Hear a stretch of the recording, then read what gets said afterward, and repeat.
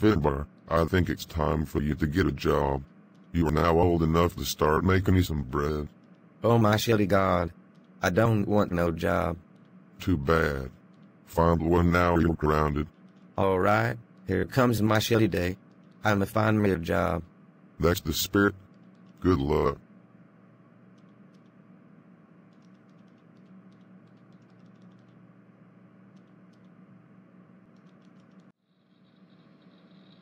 So you're looking for a job, huh? Well, you're in luck. We just got a new shipment to unload. Jeff will show you around. Now scram. My steak's getting cold. Load this pile of crates onto the truck. When you're done, you get 10 bucks. If something gets lost or broken, you get nothing. Start now and don't take all day.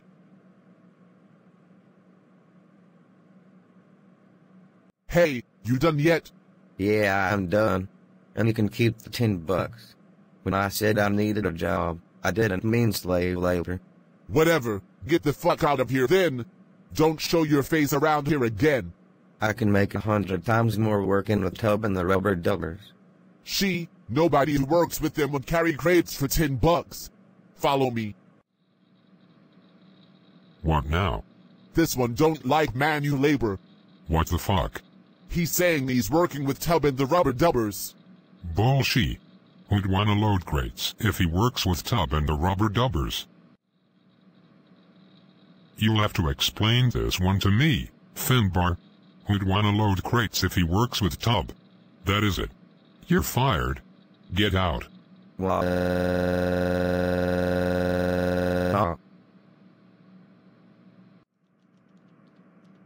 Finbar, how dare you get fired from United Freight Service? That's it. You are grounded, grounded, grounded, grounded, grounded for 328-278-476-47389-282-2233589. Go to your room now.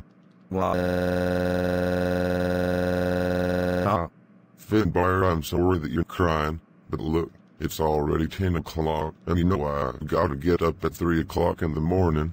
So go to your room and go to sleep. What?